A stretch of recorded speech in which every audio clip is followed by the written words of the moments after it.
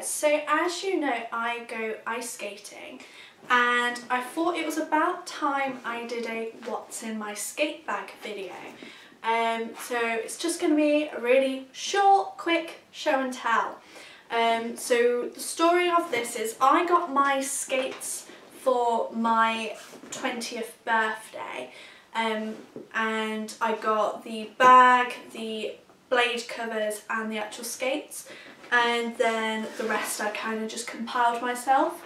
So one thing that I always have is lip balm in my bag. You're obviously you're in the cold, you're skating and when I'm nervous um, to try like a new trick or something I tend to bite my lips or lick my lips a lot so lip balm is always necessary for me.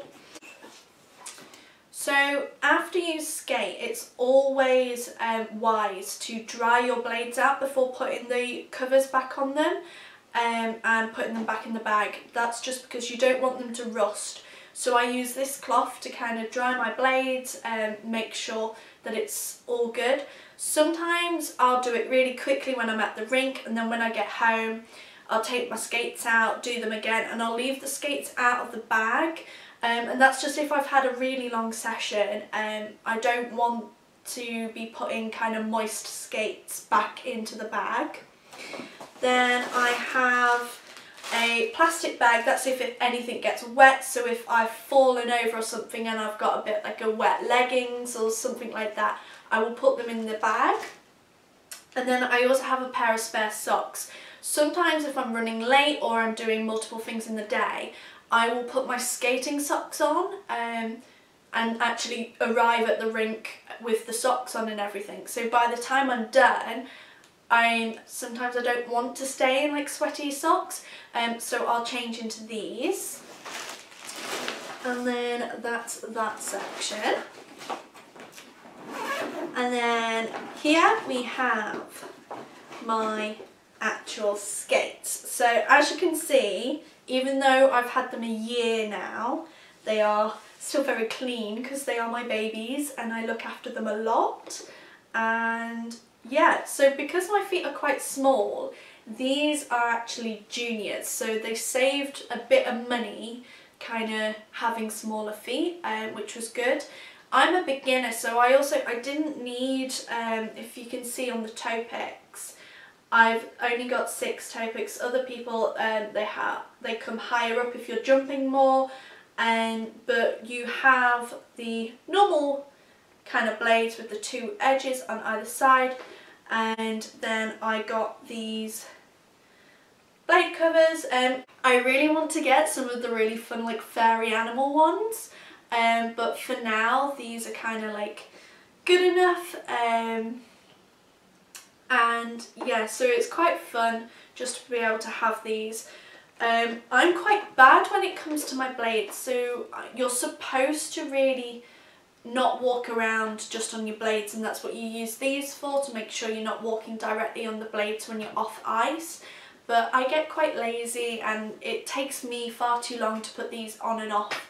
Um, I see people doing little trick videos where they have one um, blade covered when they're trying to do a trick on the ice to stop them putting the other foot down and I just couldn't do that myself. Um, so obviously we have skates in an ice skating bag, shocker. And then we come to my skating socks. So these are just basic um, black skating socks, plain. Um, so for me it's become quite a tradition to wear these socks. Um, I feel like I've broken in the boot wearing these socks and if I wore any other pair now I, I wouldn't be able to skate so I have to wear these socks. And then if I'm quite cold I have these kind of thicker woolly gloves but I also have um, my kind of lighter ones here um, which are like more waterproof ones.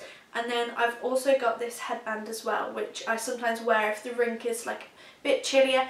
Usually if there's not a lot of people or if I go like first thing in the morning it can be quite cold. And um, so that's just like something I like to have in there.